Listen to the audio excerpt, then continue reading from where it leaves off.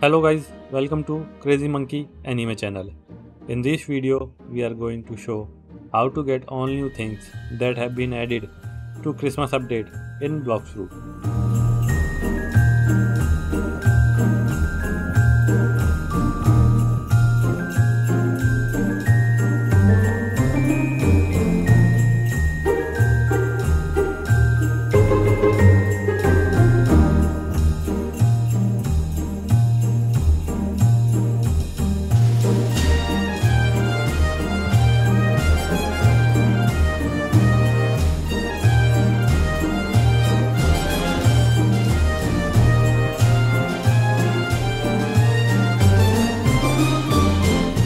Comment below which item is your favorite in Christmas update.